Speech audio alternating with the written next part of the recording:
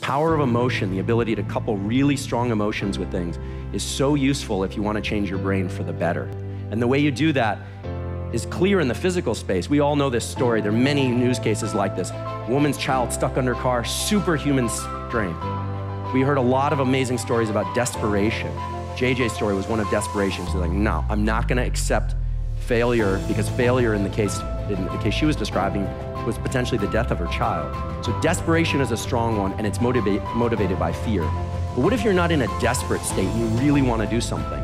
In that case, there's something remarkable. And then we should, and we should ask ourselves, why are children such great passive learners? They're not trying, they're just learning. They're coming home with all sorts of things, sometimes things you don't want them to come home with, right?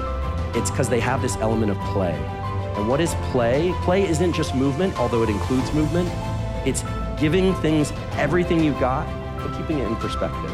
It's that sweet spot of enjoying life and trying really, really hard at it at the same time. It's essentially what we all strive for. And there are these incredible cases throughout history. Famous scientists, because I grew up in a house where people, you know, revered scientists like, like Richard Feynman, Nobel Prize winner. He's most famous for bongo drumming naked on the roof of Caltech.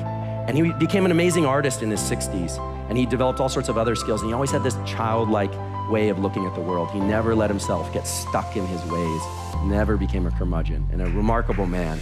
And that's something that I, if you come away with nothing else, I encourage you to do that. You want your brain to change, stay light, stay loose, but give it everything you've got.